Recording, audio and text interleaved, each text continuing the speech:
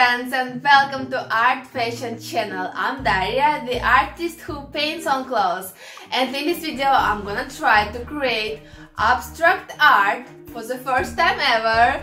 And I'm gonna create it on the hoodie and it's definitely not what normal person would do. and I'm gonna use a palette knife. Uh, you know I used to use it uh, to create oil paintings and never would I have imagined that I will use it uh, to create uh, art on clothes. But why not? so abstract art I know many people think that abstract art is just some random strokes and paint splashes, but no, abstract art is the same difficult as all other kinds of art. There should be composition, idea, color balance, texture, and uh, you shouldn't paint anything obvious, like which you can see and touch, but something which you can feel, sense. Like it's more about feelings and emotions and I chose topic uh, for the artwork which I'm gonna create. Uh, I'm gonna paint fight between two powers. Power of fire and power of water and one power is gonna win. and this video is gonna be very relaxing and very satisfying. So enjoy!